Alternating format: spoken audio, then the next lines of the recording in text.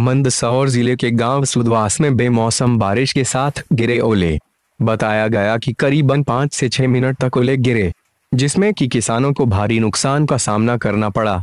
किसानों ने बताया कि फ़सल कटकर तैयार खड़ी थी, किंतु आज हुए ओलावृष्टि से हम तबाह हो गए हैं। किसानों ने बताया कि जल्द से जल्द शासन, प्रशासन इस ओर ध्यान दें।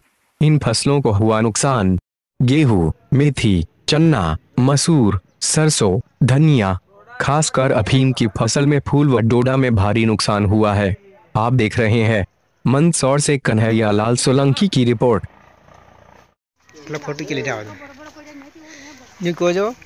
नुकसान कई होता घोड़ा टूटे डोड़ा टूटा लेकिन नुकसान काफ़ी नुकसान हुआ आधा नुकसान हुआ जी बोले। है हाँ बोल हाँ जो को हाँ, हाँ, है कि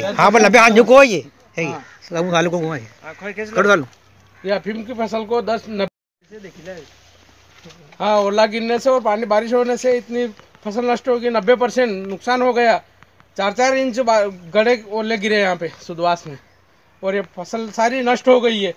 ये फ़सल ये सारी टूट के गिर गए नीचे, गोले और डोड़े सारे टूट गए।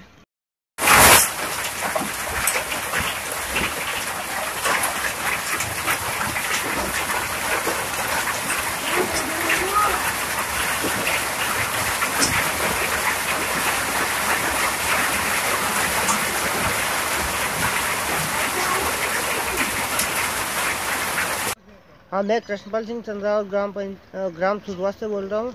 ये आज ओलावृष्टि के कारण और इतना पानी पड़ा जो कि कई गाँव के बाहर जो काम करने वाले लोग बाग थे जो, उनकी भी बुरी हालत ख़राब हुई, जो बहुत गड़े पड़े, जो किसी के लगी ऐसे ऐसे बड़े बड़े ओले पड़े। और अफीम में और सभी धान में करीबन मेथी वगैरह सभी जो भी है, उसमें नब्बे सौ परसेंट नुकसान है। बिल्कुल यूँ मान लो आपके थोड़ा बहुत ही कुछ किसानों का हाथ लगेगा।